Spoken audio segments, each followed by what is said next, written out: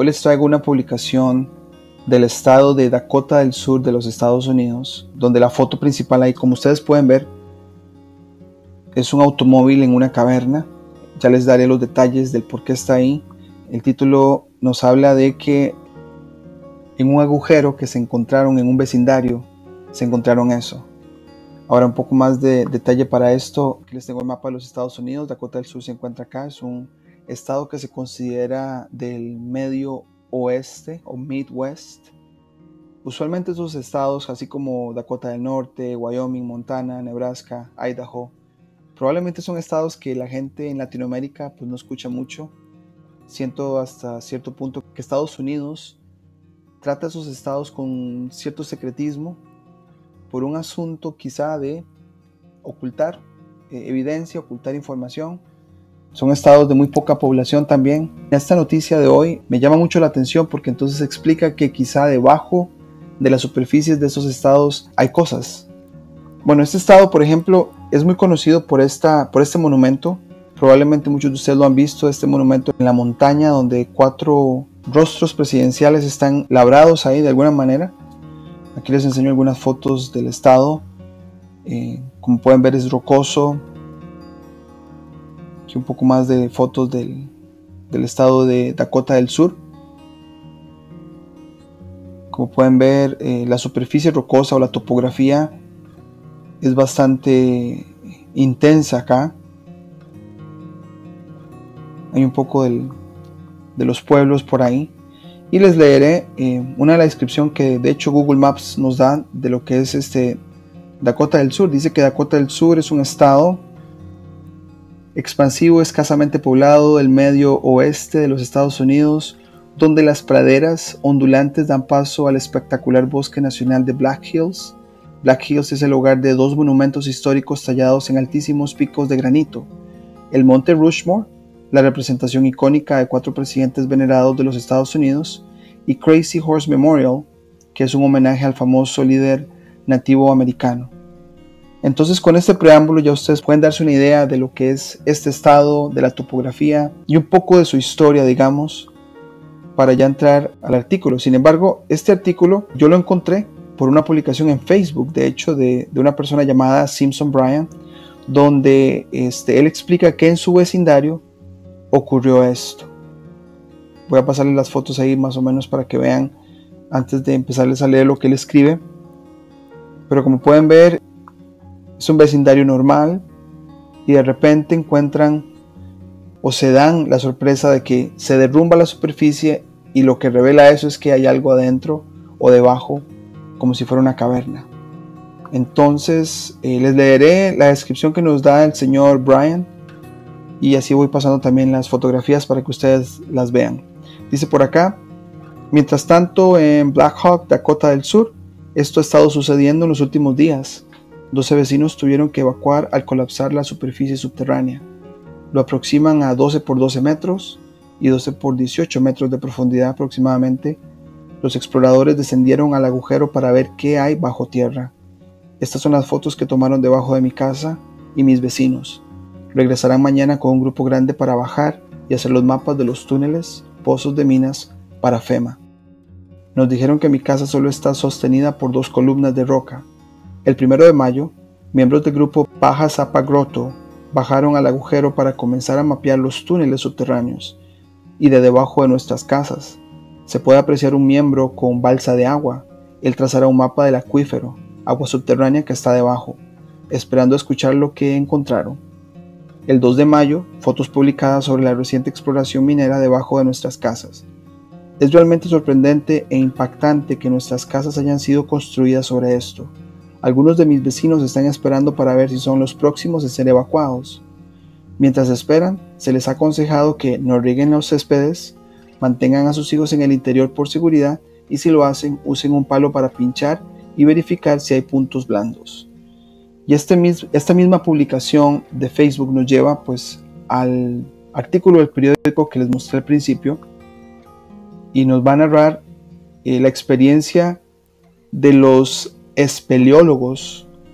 Espeleólogos son las personas que se encargan de hacer esto y aparentemente Hay un grupo de voluntarios en el estado de Dakota del Sur que se encargan también de, ofrecer este servicio eh, voluntario y uno de ellos nos cuenta pues su experiencia de lo que, de lo que vio. Y aquí empezaremos con el artículo que dice, Christopher Polsarski es un espeleólogo y ha visto muchos pasadizos subterráneos, pero nunca ha visto nada como la mina de yeso abandonada que fue expuesta por los agujeros esta semana en Black Hawk.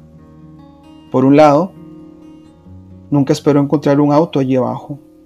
Había un lugar donde literalmente había un automóvil que salía de un agujero de la superficie, un automóvil viejo. Es como un Ford 1951, dijo Pelzarski.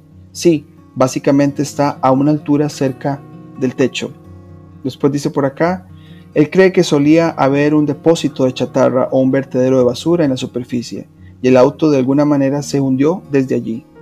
Hay dos agujeros de hasta 12 metros de ancho en los patios de un vecindario residencial de Black Hawk, justo al norte de Rapid City. Las autoridades locales han evacuado al menos una docena de hogares. Polsarski es un miembro de un club de espeleología llamado Paja Zapa Grotto, los miembros del club se ofrecieron como voluntarios para explorar la mina y usar su experiencia para medirla y mapearla. Sus esfuerzos ayudarán a las autoridades a identificar los puntos de peligro. Los espeleólogos mapearon 700 metros lineales de pasajes, dijo Belsarsky. Había túneles adicionales a los que no podían acceder porque estaban inundados o colapsados. Algunos de los túneles eran grandes, 3,6 metros de alto y 12 metros de ancho. El techo en un lugar de la mina estaba a 9 metros sobre sus cabezas, lo que indica una superficie potencialmente delgada arriba.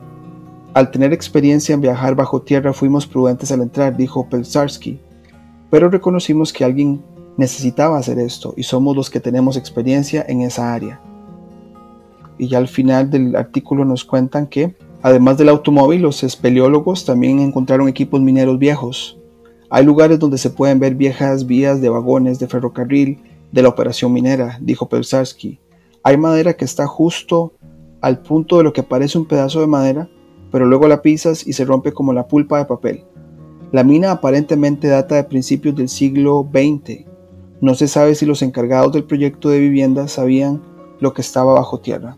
Me llama la atención que este, la mina data de principios de los 1900 o el siglo XX. Los que han seguido el canal probablemente han visto el video de la Edad Dorada que hemos publicado donde pues hablan de todos estos Robert Barons, figuras adineradas que obviamente acumularon toda su riqueza, figuras como Rockefeller, como Carnegie, como Vanderbilt, y todavía se cuestiona cómo fue que llegaron tan alto en la escala de ser adinerados, pero de hecho, hay mucho paralelismo entre ellos y lo que vemos ahora con, por ejemplo, con Mark Zuckerberg de Facebook, eh, con los dueños de Google y también con Bill Gates, que de alguna forma llegaron hasta arriba a nivel monetario y luego se involucran filantrópicamente en otros proyectos por su poder de mediación. Entonces, a principios del siglo XX, hay muchos paralelismos con lo que está pasando en este momento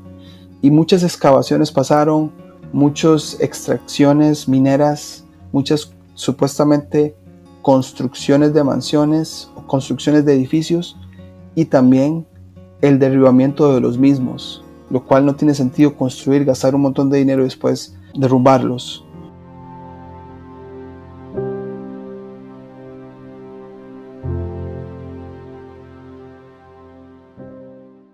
Un nuevo propietario de Alton se llevó una gran sorpresa cuando parte de su acera se derrumbó revelando en forma de arco un interés debajo de su casa. Muy misterioso. Veamos a Patrick Clark llevándonos bajo tierra, donde por primera vez se ha descubierto un túnel que data de los 1800. En Alton, Illinois, vamos a entrar bajo tierra a un túnel que acaba de ser encontrado. Mucho ladrillo o lo que sea que se haya construido hasta aquí. Se necesitaron muchos hombres y muchas horas. Sabes, ningún hombre hizo esto. Gary Mackens descubrió este túnel por primera vez cuando descubrió una acera que comenzaba a inclinarse. Tuve un problema aquí en la acera y mientras estábamos excavando y empacando la roca allí, descubrimos este túnel aquí. Y según los historiadores aquí en el área de Alton, este túnel probablemente se instaló alrededor de 1840. Cuando el granjero de West Alton y su esposa se mudaron a esta casa, él conocía esa historia que se remonta a la década de 1890. Mackens cree que el cambio de elevación a partir de 1895, cuando se colocó esta calle bordeada de ladrillos, cubrió la entrada de este misterio subterráneo. Pero, ¿por qué ese escalón está ahí? ¿Por qué se hizo? ¿Por qué está eso ahí? ¿Cuál fue el propósito? ¿Ves el desplazamiento de un ladrillo? Y luego, si miras a lo largo de esta pared, se vuelve un poco de esa manera. Mira hacia abajo a lo largo de esta pared. Ya sea para el almacenamiento de hielo, un vagón o parte del ferrocarril subterráneo, es la mejor conjetura de cualquiera. Es único. Hay algunos túneles alrededor del área de Alton que hemos descubierto desde que lo verificamos con la Sociedad de Sitios Históricos. Probablemente fue utilizado para tal vez media docena de cosas a lo largo de los años, en el frente, desde una casa de congelamiento hasta un sótano y tal vez algunas otras opciones. La historia, quiero decir, debes preguntarte por qué está hecho ese túnel. Podría haberse usado para una parte del ferrocarril subterráneo, donde no hay pruebas de eso, pero había un ferry importante aquí en el área de Alton que regresaba al lado de Missouri y es posible que lo haya usado. Bueno, creo que fue para el ferrocarril subterráneo. Esa es mi teoría. Mackens está abierto a la idea de abrir el túnel para visitas guiadas si puede conseguir que la ciudad o alguien le ayude con la logística y los costos. Por ahora tiene que arreglar su acera y sellar el túnel. Tenemos mapas que se remontan a 1863 y esta casa no estaba allí y no había otra casa en esta propiedad. Aquí había dos abajo en la esquina y una arriba en esta esquina. Macken es un amante de la historia y dice que quiere preservar este pasado en el misterio actual de su vida. Así que tenía al menos 2,7 metros de alto, 2,9 metros de ancho. ¿Y qué tan atrás queremos saber? No estamos seguros. Sabemos que va a 18 metros. Con más preguntas que respuestas en Alton, Illinois, Patrick Clark. Bienvenidos a Desvendando Noticias. Como vieron en el video, el pequeño doblaje que hicimos, este hombre en el estado de Illinois encontró una estructura subterránea debajo de su casa por puro accidente. Así como dice el título del artículo, el hombre encontró un misterioso túnel del siglo XIX debajo de su casa en Illinois. Entonces tenemos eh, esta foto que salió en el video, pero quería compartirles porque este artículo trae algunos extra detalles que no escuchamos en el doblaje. Por ejemplo, Dice acá que él cree que la abertura del túnel estaba cubierta cuando se colocó la calle de ladrillos en 1895. Ahorita vamos a ver con detalle a qué se refiere con los ladrillos. Aquí más adelante, pues lo que dijo también en el video, que mientras empacaba las rocas o las colocaba y excavaba es cuando por accidente encontró que había algo subterráneo.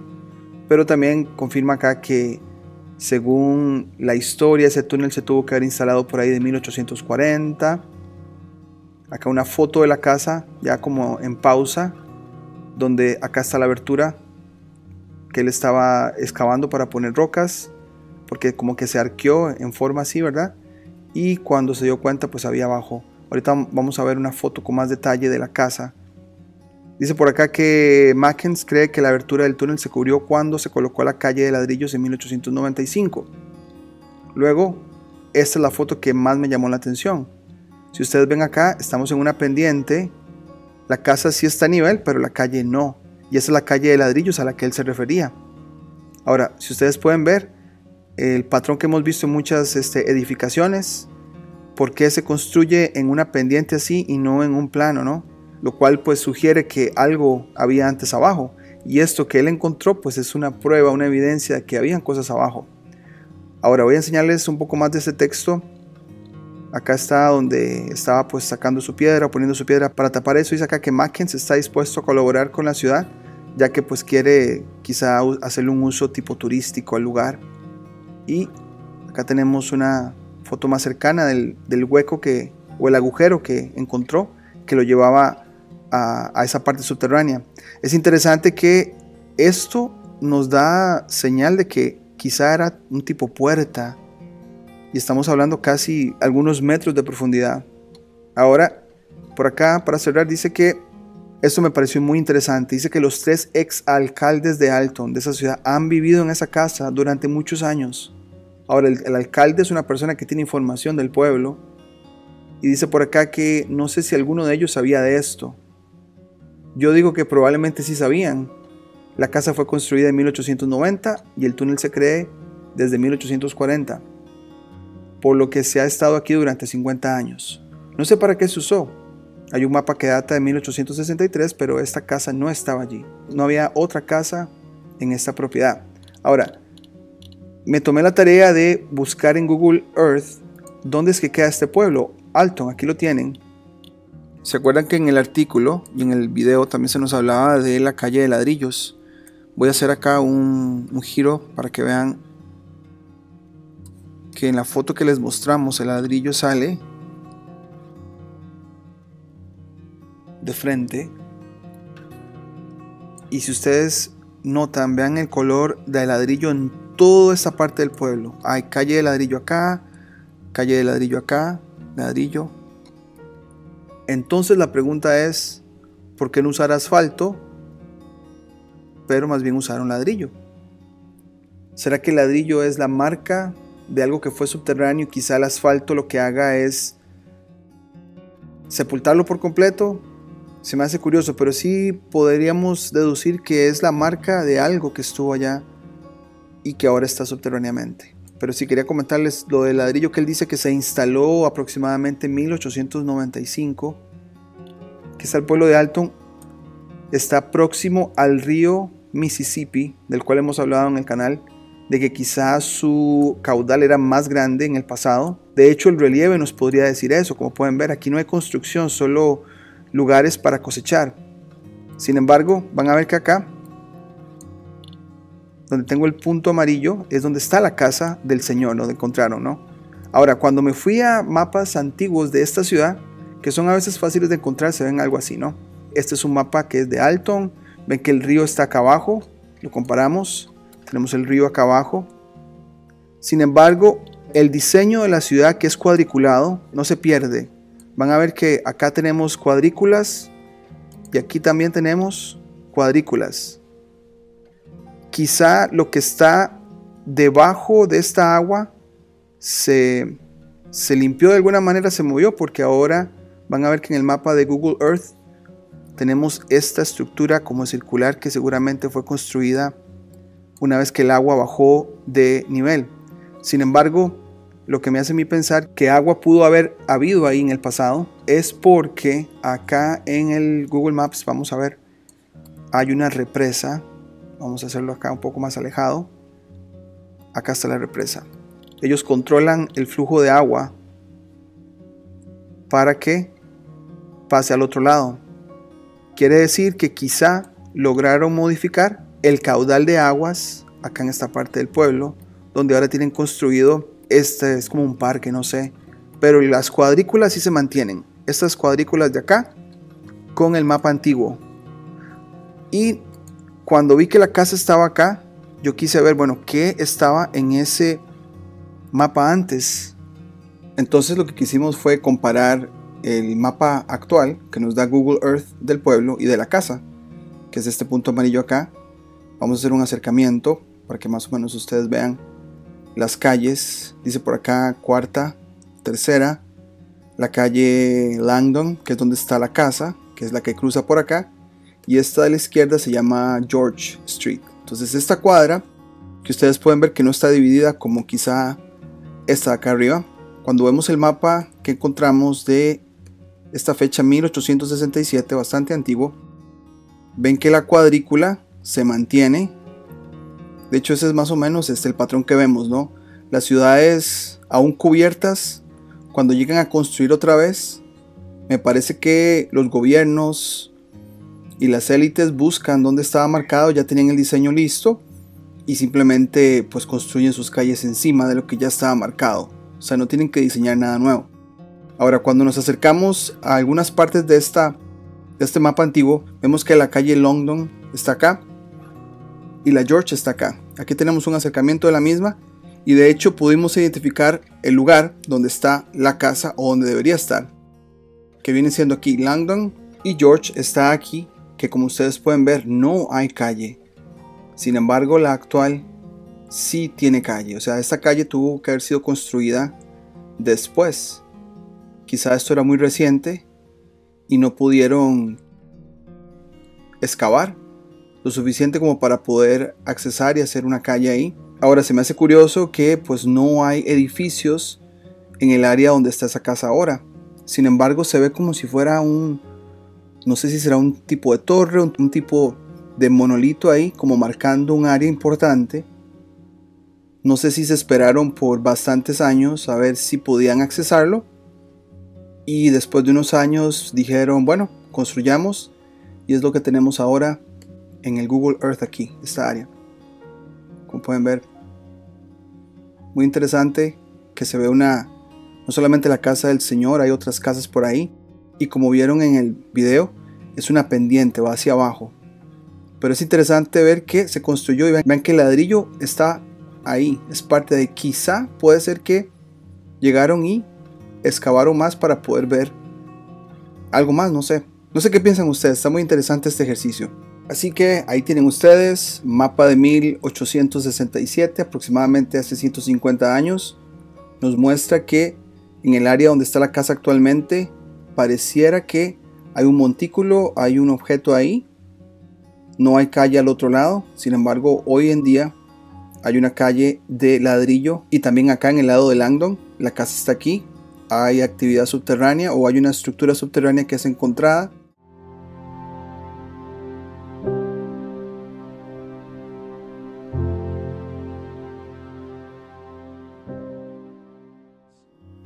Hoy les traemos una noticia que un gran suscriptor de Paraguay nos compartió y es que se descubrió un nivel subterráneo en uno de los edificios del gobierno. Dice la noticia por acá, hallan una habitación desconocida y bala antigua en Palacio de López. Esto es en Paraguay, Asunción, su capital. Acá una foto de lo que nos están hablando. Dice por acá la leyenda abajo, hallan una habitación desconocida y bala antigua en Palacio López. Vemos el ladrillo rojo y pues unas estructuras ahí en la parte de abajo. Vamos a leer unas líneas y después nos vamos a ir a la historia de este edificio. Dice por acá que a medida que avanzan los trabajos de refacción o de reparación en Palacio de Gobierno, se revelan algunos recovecos o fragmentos de la historia. Fragmentos de la historia. En los últimos días descubrieron una bala de cañón de la época de la Guerra Grande, o sea, de la Guerra de la Triple Alianza, que posiblemente fue la que impactó contra uno de los pináculos de la torre principal del histórico edificio del Palacio López. Otra sorpresa que tuvieron los especialistas encargados de la refacción,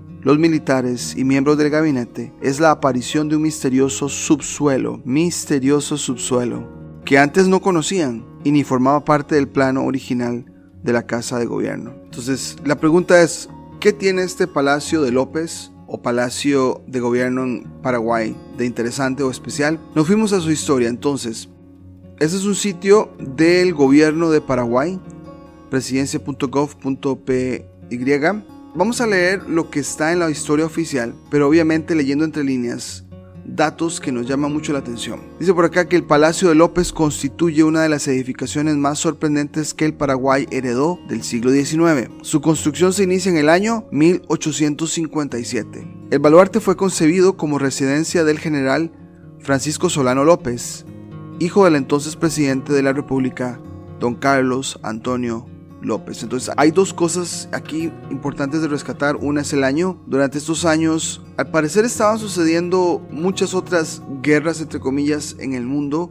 Había un movimiento, entre comillas, geopolítico. Pareciera como agendas políticas que se querían llevar a cabo. Y es en ese año donde en Paraguay nos reportan que empieza a construirse. Ahora pongamos la atención porque supuestamente este hijo, el general Francisco Solano, es el que va a vivir en el palacio, sin embargo no sucede así. Durante su gobierno, don Carlos, o sea, el presidente de turno, el papá, trajo de Europa a destacados técnicos, a fin de llevar adelante distintos emprendimientos para la modernización del Estado paraguayo. Ingenieros, arquitectos, técnicos industriales y profesores conformaron el selecto grupo de profesionales, muchos de los cuales tuvieron activa participación en la construcción del Palacio de López. Y esto obviamente nos conecta a esos temas de Tartaria que hemos hablado en el canal en el pasado, donde siempre hay que traer a alguien de afuera o alguien en este caso de Europa a venir a ayudar. Entonces la pregunta es, ¿la gente que estuvo ahí, la civilización antes, no eran capaces?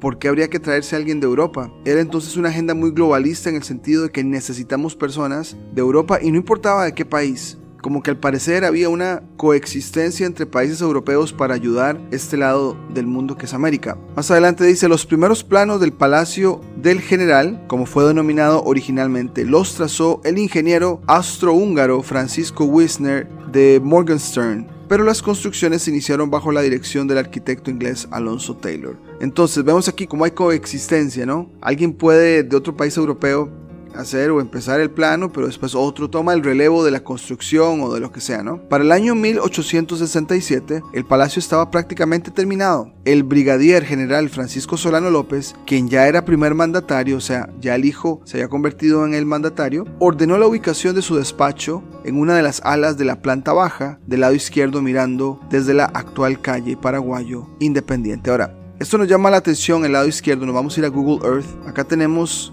donde está el palacio en este momento, nos llamó la atención que esas estructuras gubernamentales, volvemos a ver este patrón de muy cerca del río, en este caso Paraguay, y esta bahía de Asunción, o sea, muy cerca del recurso hídrico, del cuerpo de agua, así como hemos visto fortalezas o fuertes, así como hemos visto también parques de atracciones. Al parecer había una conexión de muchas de estas estructuras antiguas estar conectados al agua, ¿no? Probablemente por comunicación, pero también por recursos, ¿no? Entonces ahí está el palacio. El palacio tiene dos alas, ¿no? Desde el frente tendríamos la de la izquierda, que es esta, y la de la derecha, ¿no? Dice el señor que él pidió estar acá, al frente de lo que es la calle Paraguayo Independiente, que es básicamente esta de acá. Entonces él solicitó estar en esta área, ¿no? ¿Será que esta ala de la estructura tenía algo importante, bueno, es aquí donde se encontró el subsuelo o el nivel subterráneo que no sabían ellos. Entonces, coincidencia que acá en este lado del edificio haya entonces pasadizos a un nivel subterráneo. Aquí hay un retrato, lo cual llama la atención que todo es como en blanco y negro o digamos que sepia, pero la bandera sí puede ir en color, ¿no? Podríamos decir que tal vez sea un fotomontaje, pero bueno. Dice por acá, la guerra de la Triple Alianza obligó a López a abandonar la capital para dirigir las operaciones bélicas antes de habitar su residencia. Entonces, ¿qué raro, ¿no? Cuando ya estaban a punto de habitar el palacio, sucede la guerra de la Triple Alianza.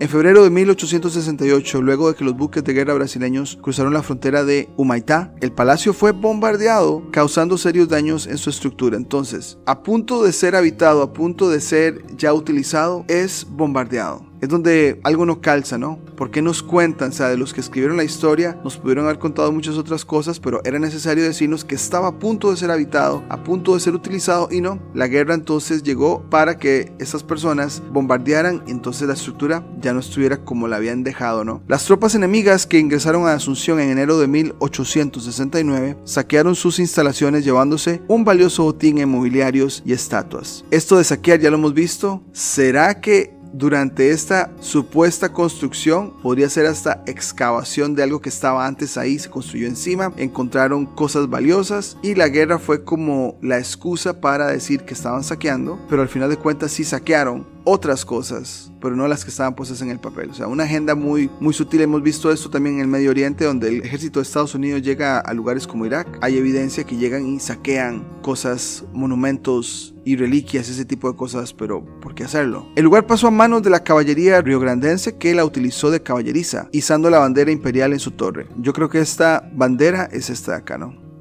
Que parecieron un montaje. En 1872, la creación del Ejército de Línea Nacional, el lugar fue abandonado. Entonces, casi construido, bombardeado, saqueado. Pasaron unos años después, entonces el lugar fue abandonado. Un patrón que siempre lo hemos visto en esto, ¿no? Que dice que construyen algo, lo botan, lo dejan de usar. Durante el gobierno de Juan Gualberto González, entre 1890 y 1894, la majestuosa construcción se convirtió en patrimonio nacional y se ordenó su recuperación. Ahora pongamos atención a estos años porque lo vamos a conectar a otro tema que hemos hablado acá en el canal. Dice, para luego reconstruirse en sede del Poder Ejecutivo. Los trabajos culminaron en 1892. Entonces, después de ser abandonado, se toma la tarea oficial de reconstruirlo en 1892 y el magnífico Palacio de López fue habilitado el 12 de octubre de ese mismo año. Ahora, 12 de octubre. ¿Qué celebramos en Latinoamérica o qué nos han impuesto a celebrar el 12 de octubre? Dice por acá, bajo la presidencia de Juan Gualberto González, coincidentemente con la celebración del cuarto centenario del descubrimiento de América. Y haremos una pausa ahí, ¿por qué? Porque mientras esto pasaba en Paraguay, en Estados Unidos se estaba conmemorando la Feria Internacional de Chicago, en el cual el punto de celebración o el centro de toda esta celebración era Cristóbal Colón. De hecho se llama la Feria Colombina, que también era para conmemorar 400 años de esta supuesta historia que nos han contado del descubrimiento de América. ¿Por qué eligen estas fechas para que coincidan con estas celebraciones? ¿Habrá alguna conexión entre Chicago y lo que se estaba haciendo en Norteamérica y Sudamérica? Muy posiblemente sí. Había una agenda, parece que había una agenda muy global sucediendo por todo el continente americano. Luego dice que este señor, el González, fue depuesto en 1894 sin instalar sus oficinas en el edificio. Entonces, con todo este drama que nos están contando, aún en 1894 nadie había habitado el lugar. Su reemplazante, el vicepresidente Marcos Morínigo, tampoco concretó la idea de su antecesor. Entonces la pregunta es, ¿qué los estaba haciendo ellos detenerse en esta idea de habitarlo o usarlo? Algo había en este edificio para que nos inventaran la historia que ya estaba a punto de construirse, destruirse, después se abandonó. Ahora hay que conmemorar lo de Cristóbal Colón, empecemos a crear una nueva narrativa y aún así en 1894 nadie lo estaba usando todavía. Recién el general Juan Bautista Egusquiza convirtió el Palacio de López en sede del gobierno nacional el día de su asunción, el 25 de noviembre de 1894.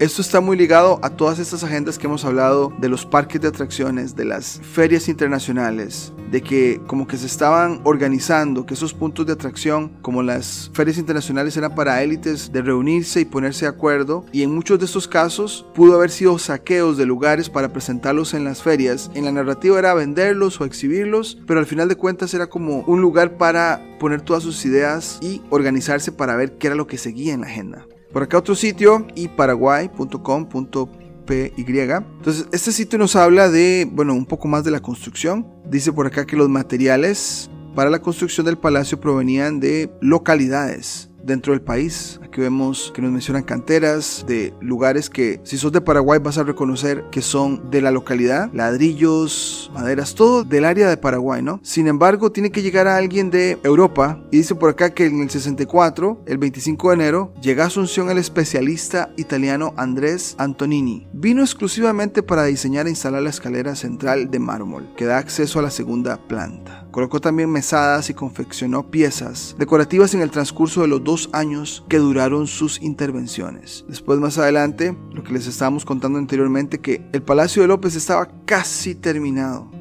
Apenas faltaban detalles de acabado para su conclusión. Entonces aquí es donde nos llama la atención y nos preguntamos, pero ¿qué tal si nunca fue realmente listo? Nunca estuvo listo, pero la guerra fue una buena excusa para decir que se destruyó. Volviendo a la noticia, dicen por acá, hace unos días la bala de cañón se encontró en medio de los trabajos de refacción que se está realizando en la zona del gabinete militar, ubicado a un costado de la oficina del presidente de la República. De acuerdo a las primeras sospechas, podría haber sido parte del bombardeo que sufrió el edificio hace más de 153 años por parte de los navíos brasileños que llegaron a ingresar hasta la zona de la bahía de Asunción durante la guerra de la Triple Alianza. De acuerdo a los fragmentos de la historia, otras balas fueron a impactar hacia la zona del Congreso. En la semana se sumó otra novedad. En medio de los intensos trabajos de intervención y refacción de la estructura del ala oeste, y aquí sí confirmamos que es ala oeste esta que está acá, donde este presidente López, el hijo, quiso poner su oficina supuestamente para estar enfrente de la calle Paraguayo Independiente. Allí la sorpresa fue el hallazgo de un compartimiento no conocido por los responsables de la seguridad de las instalaciones del edificio. En medio de los trabajos de intervención del piso, fueron llegando a la capa original y se percataron de la aparición de una habitación en el subsuelo surgieron varias conjeturas sobre la existencia de esta habitación que transporta a una parte de la historia oculta. Una de ellas es que un expresidente usaba esta habitación para cuestiones privadas. Los responsables de los trabajos de refacción pusieron al tanto de los hallazgos al presidente Mario Abdo Benítez y las autoridades de la Secretaría de Cultura para iniciar los estudios técnicos. En el marco de los festejos de las fiestas patrias, el presidente de la República aprovechó la visita que tuvo de su homólogo uruguayo, Luis Lacalle Pou, para exhibirle la bala de cañón que encontraron en medio de la zona de obras. Coincidentemente, el gobierno de Uruguay había formado parte de la contienda bélica de la Triple Alianza y se había beneficiado con el abastecimiento del ejército. Otra delegación que tuvo la posibilidad de observar los hallazgos es la que integró el embajador de Estados Unidos en Paraguay, Mark Otsfield, y agregados militares durante la conversión que mantuvieron en el despacho presidencial. obviamente no podía faltar nuestros amigos de Estados Unidos inmiscuyéndose en cosas de este tipo, ¿no? El ministro de Cultura, Rubén Capdevila, fue informado sobre el hallazgo y aguarda el reporte técnico con el equipo de patrimonio cultural a fin de ir investigando los primeros trabajos consisten en relevantamiento de la información. Los trabajos de restauración del antiguo edificio arrancaron a finales del 2020. Quiere decir que el edificio estaba en restauración en media pandemia. Hemos visto también que han habido otras agendas de restauración de edificios en otras partes del mundo durante esta pandemia. Suena muy sospechoso. Luego de un informe técnico que advertía sobre el riesgo del colapso del ala oeste debido al deterioro producido por la falta de refacción y la infestación de las termitas en la zona del Salón Los trabajos de intervención estructural deben finalizar el próximo año. En medio de los trabajos descubrieron unas imágenes de antiguos murales en el subsuelo. Más cosas, no hay fotos todavía como para mostrar o indagar más. El hallazgo más importante es la pintura mural a nivel del zócalo que aparece en el sótano, además de los arcos que se encuentran en la zona del subsuelo del edificio histórico. Dejaremos la nota acá y obviamente muchas preguntas de que sí, se encuentran que algo aparece, tienen que ponerlo en la noticia para que la gente sepa, pero una de nuestras sospechas es que si esto, como es del gobierno y ha estado ahí de más de ciento y resto de años, es un lugar que ha estado encubierto, se ha construido encima, quizá lo que nos contaron de cuando estaba a punto ya de ser utilizado y que la guerra de la Triple Alianza trae esta situación en que es destruido y después abandonado. Es una historia muy pictórica, pero con lo que estamos leyendo hoy sí hay un subsuelo, sí hay un nivel subterráneo, entonces sí se construyó encima y todos estos años simplemente han ido encubriendo y llega 2020 que es como un año para restaurar y no solo lo hemos visto acá, lo hemos visto en otros países como que están calendarizados a hacerlo en alrededor de estos años y en estas restauraciones obviamente encuentran otro tipo de artefactos, los guardan, los esconden, los ponen en otro lugar. Pero para simular es necesario ponerlo en la prensa para que la gente sepa que si se encontraron cosas, se está arreglando, pero también a la misma vez como para evadir y que pues no se hable mucho del tema.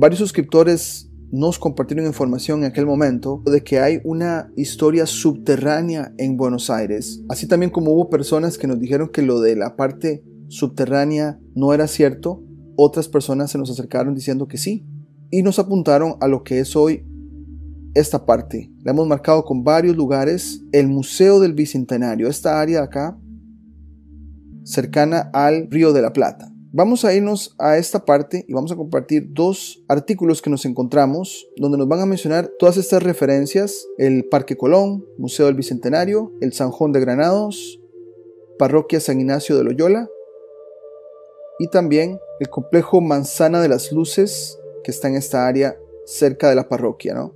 Entonces, con esto en mente, vamos a irnos a este artículo oficial del gobierno de Argentina que se llama El edificio, así lo pusieron, acerca del Museo del Bicentenario. Esto está escrito en agosto 18 del 2021. Empezaremos la lectura aclarando que nosotros, sin ser de Buenos Aires o de Argentina, haremos nuestro mejor esfuerzo leyendo, pero si hay personas que pueden aportarle más a esta lectura, nos encantaría escucharlo.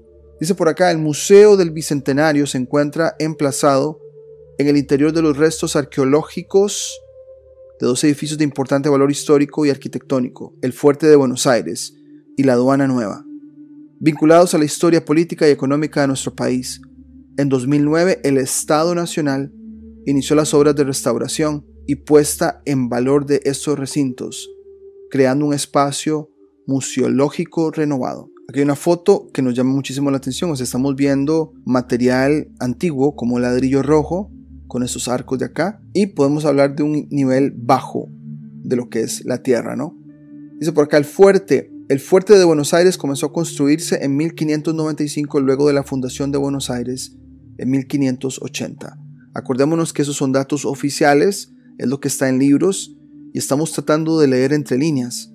Pero sí se confirma que hay un fuerte y cuando vemos las fotos tanto del video introductorio como las que vamos a ver acá, sí se puede ver que hay niveles de tierra construidos en esa parte de Buenos Aires. Dice por acá, su nombre era Real Fortaleza de Don Juan Baltasar de Austria y se ubicaba sobre la barranca que daba hacia el río de la Plata, frente a la actual Plaza de Mayo.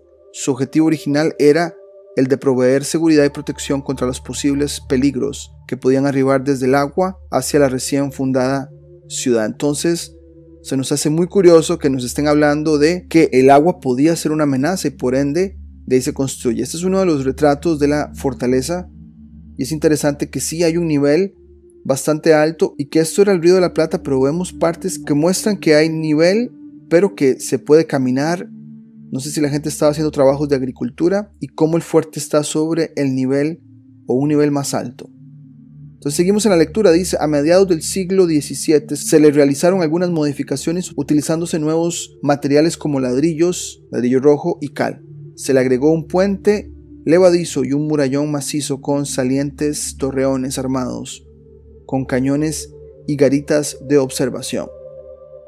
Durante el siglo XVIII el fuerte fue renombrado Castillo de San Miguel y sufrió nuevas modificaciones que dotaron de mayor comodidad a la residencia de los gobernadores. En 1776, con la creación del virreinato del Río de la Plata, dicha residencia se convertiría en la Casa de virreyes. Entonces, a partir de acá, lo que podemos interpretar de la lectura es que hay etapas de restauración, etapas de tomar lo que estaba antes y restaurarlo. Pareciera que son como diferentes maneras de encubrir lo que estaba anteriormente. Y llegamos a este año que nos llama la atención con la coincidencia que es el año de la supuesta independencia de los Estados Unidos. Como que pasaban cosas al mismo tiempo en diferentes hemisferios. Dice por acá, al finalizar las guerras de la independencia, el fuerte albergó, con muy pocas reformas a las autoridades de los sucesivos gobiernos patrios, las juntas, los triunviratos, los directores supremos, los gobernadores y el primer presidente Bernardino Rivadavia. Otro retrato del fuerte y vemos que ahora el río sí se ve más lleno de agua hacia este lado. Entonces dice por acá, abandonado y parcialmente demolido. Durante el gobierno de Juan Manuel de Rosas, el fuerte volvió a cobrar protagonismo como sede gubernamental durante la presidencia de Bartolomé Mitre en 1862, muy cercano a la guerra de la Triple Alianza. Su sucesor, Domingo Faustino Sarmiento, decidió embellecerla y pintó su fachada de color rosado. Entonces vemos que toman algo que estaba parcialmente demolido dice que hasta abandonado, o sea, nadie lo estaba habitando en ese momento y deciden hacer una restauración y que volvió a cobrar protagonismo. La pregunta es por qué estos lugares se mantienen abandonados y sin uso y de repente se usan, ¿no? ¿Será que estaban ocultos debajo de la tierra y de repente ven después que se le puede dar un uso y bueno, se le hacen las restauraciones pertinentes? Dice por acá, la construcción de la actual Casa de Gobierno en 1873 marcó el fin del fuerte colonial, el cual fue que demolido hasta su sustitución total por la actual Casa Rosada. Entonces, esto de que son demolidos, destruidos, o por lo menos lo que está en el texto, siempre trae muchas preguntas. ¿Lo hacen adrede? ¿Fue un asunto de cataclismos? Fue un asunto de que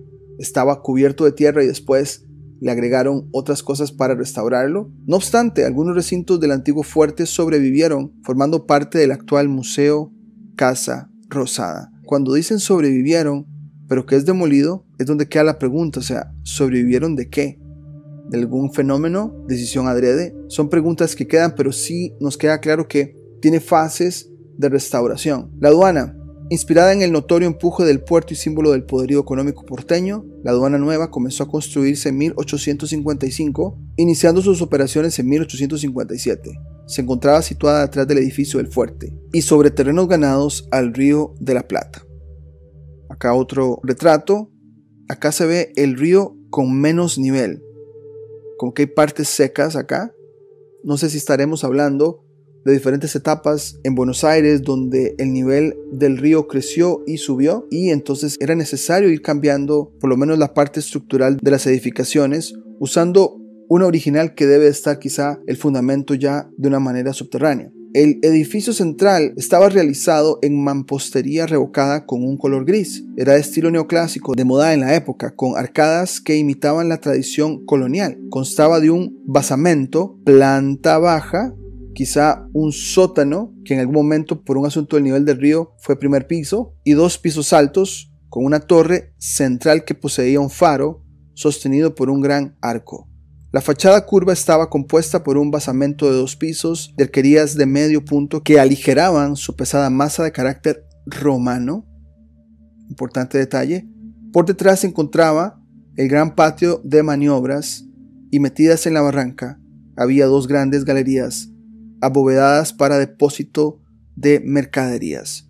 Entonces, esto de que en los fuertes se usaban para almacenar recursos probablemente sí tiene sentido. Y cuando escuchamos partes de que habían depósitos de mercaderías, pues recobra significado, ¿no?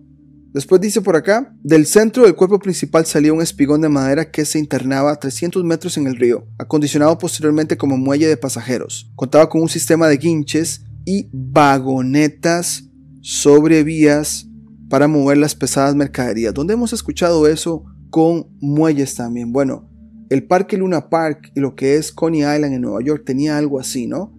Que de los parques de atracciones salían rieles para que la gente se transportara o quizás siempre estuvieron así para transportar mercadería y quizá recursos también que salían y entraban a Buenos Aires. Luego por acá otro retrato. Este es el muelle del que hablaban, ¿no? Acá sí se puede ver que el río creció un poco, sigue el agua por acá. Con esta información que estamos leyendo pareciera que se tenía que reacomodar el lugar para estos diferentes niveles del río. El portal del que salía el espigón ubicado en su parte central se asemejaba a un arco de triunfo coronado por un frontis. El frente recto que daba al oeste, sobre la casa de gobierno, no se apoyaba en la barranca, sino que aprovechando el desnivel, usaba como patio de maniobras el foso del viejo fuerte de más de 100 metros de largo. Después continúa por acá, después de 37 años de uso, la aduana nueva fue demolida en 1894. Esa es como la tercera vez que escuchamos demolición, restauración y nos preguntamos, bueno, ¿por qué se restauraba tanto, no? ¿Qué hacía que los gobiernos en turno tuvieran que cambiar la fachada y ese tipo de cosas? Bueno, iniciándose las obras de un nuevo puerto a cargo de Eduardo Madero. Sobre sus restos se proyectó una avenida y un parque público diseñado por Carlos Tais e inaugurado en 1904 con el nombre de Parque Colón. Entonces es interesante leer que sobre sus restos se proyectó una avenida. O sea, cuántas avenidas y cuántas calles conocemos hoy que fueron puestas encima de algo que estuvo antes debajo. Bueno, acá sí se nos dice que este señor Carlos Saiz, que por cierto es el nombre del parque donde estuvo el primer parque japonés en Buenos Aires también.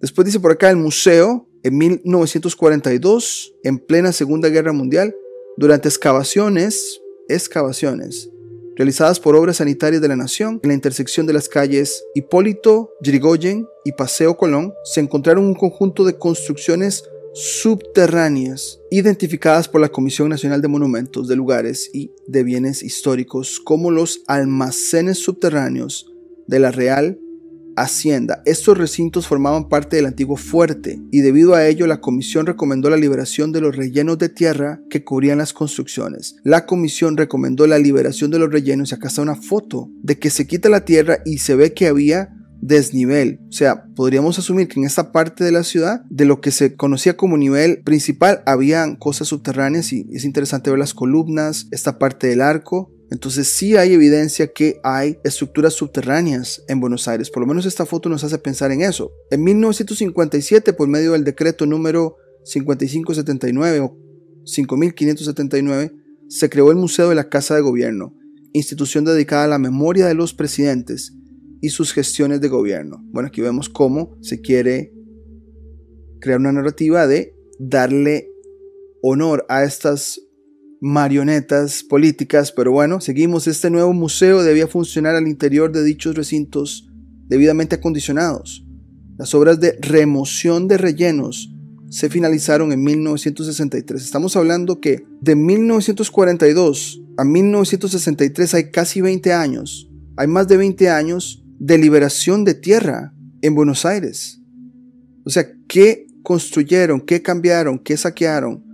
Muchas preguntas. Pero bueno, sigue por acá. En la década de 1980 se continuó trabajando sobre el patio de maniobras de la aduana, retirándose la tierra una vez más e iniciando algunos trabajos de restauración en muros. Además se construyó una baranda perimetral a nivel de la avenida Paseo Colón. Y ya la última parte de este artículo nos habla de esta foto, o así se ve que es un material antiguo de ladrillo y también ladrillo en el piso y vemos acá que hay un nivel todavía más alto, ¿no? Vemos acá una foto que probablemente es comparación a lo que se encontró acá. Y ahora está esta foto de acá, ya restaurada, manteniendo el material antiguo. Dice por acá, durante la preparación de las celebraciones por el bicentenario de la Revolución de Mayo, el Estado Nacional dio inicio en 2009 a la puesta en valor de los restos de la aduana y el fuerte, el objetivo de esta nueva propuesta era la recuperación y refuncionalización de las construcciones, transformándolas en un moderno y novedoso museo.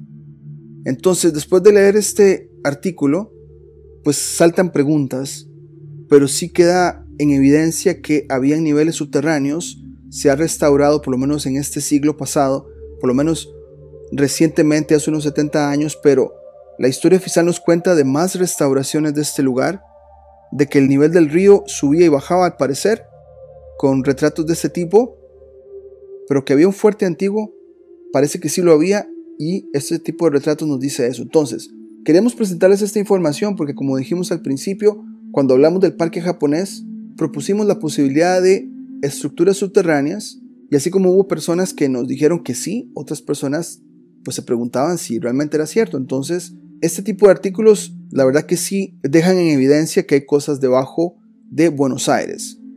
Hay otros artículos que mencionan otras partes de la capital con estructuras subterráneas. Y este es un artículo que tomamos de El Clarín, obviamente una publicación oficial. Puede ser que haya cosas impuestas o forzadas. Trataremos también de leer entre líneas, pero vemos acá que hay varios lugares acá, como por ejemplo la Iglesia San Ignacio, Santa Felicitas y el Sanjón de Granados, por acá hay algunas fotos.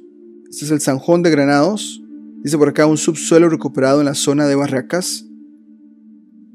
Se puede ver acá que el ladrillo y que pues ha sido restaurado, ¿no? Marcamos este texto porque pues llama la atención. Arriba, afuera, en Bolívar, entre Alcina y Moreno, Montserrat, es siglo XXI.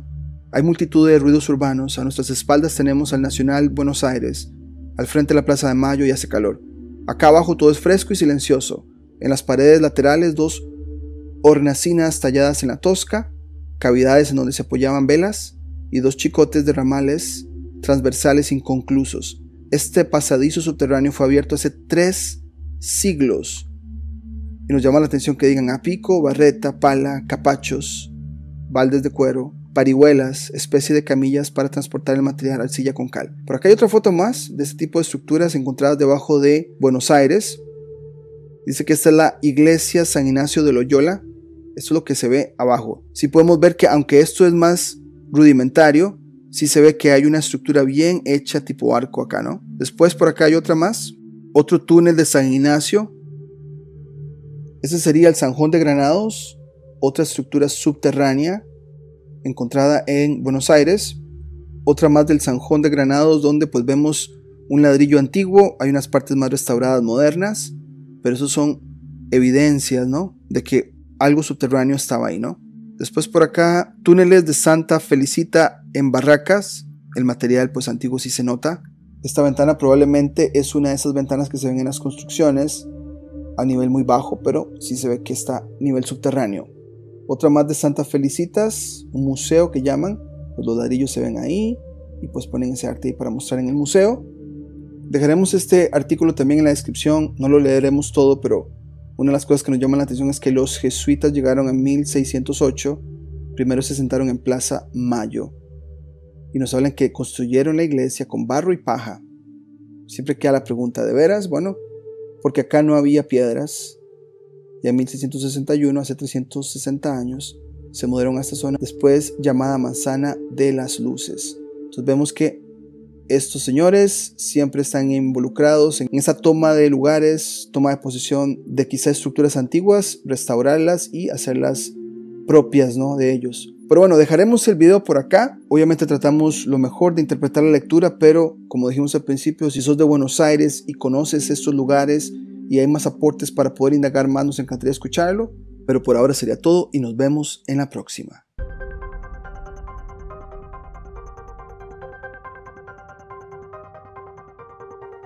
Si te gustó el contenido del canal no olvides suscribirte, darle campanita para notificaciones, darle me gusta, comentar o compartir.